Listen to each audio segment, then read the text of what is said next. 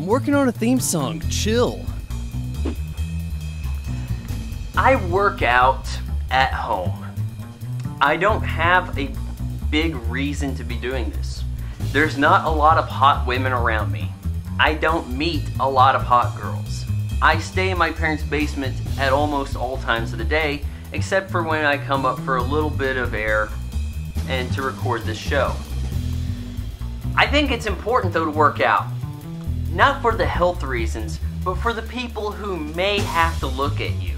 When you do run across a hot chick, you want to be that guy. You want to be the guy with the six pack. You don't want to be the guy with regrets. Now, if you excuse me, I'm going to get into an unfortunate weightlifting incident.